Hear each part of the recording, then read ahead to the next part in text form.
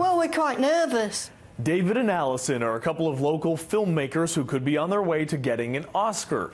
The pair recently found out they've been shortlisted for their film Animal Behavior in the category Animated Short Film. Obvious. Why doesn't she just stop being such a parasite and give the guy a break? No, I, mean, I can't live without Michael. It's a 14 minute animated short that takes place while a group of animals undergo some group therapy to discuss their issues and try to resolve them. Animals have similar issues as people. Um, but we don't judge them for it. We just accept it.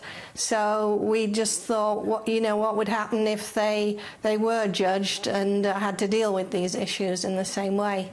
Some of the characters include a leech who suffers from separation anxiety and a praying mantis who can't keep a man. Alison says the film opens a door to talk about serious issues in a way that's comedic too.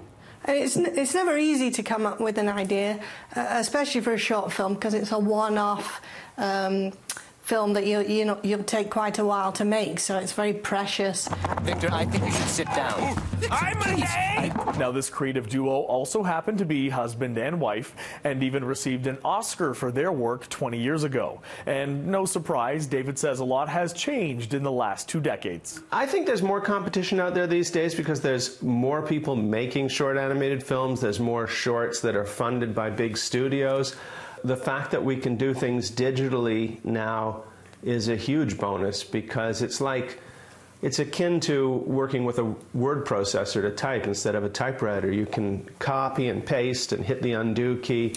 Even then, David and Alison had to painstakingly create the entire film frame by frame, taking about two and a half years for the animation alone. At the heart of it, it's the story and the characters which are key um, to uh, an audience uh, appreciation of a film. They'll find out if they're official Oscar nominees on Tuesday.